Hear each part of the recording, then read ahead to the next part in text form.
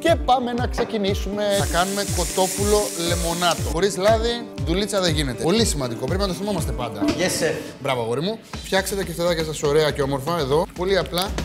50 με 60 λεπτάκια και το φαγητό μας θα είναι έτοιμο. Kitchen Lab. OK, είναι το απόλυτο κέικ σοκολάτας. Δοκιμάστε άφοβα. Εδώ γεννιούνται οι γεύσεις. Με τον Άκη Πετρετζίκη. Σήμερα στις 6 παρά 20 το απόγευμα. Εγώ θα είμαι πάντα σε αυτή την κουζίνα.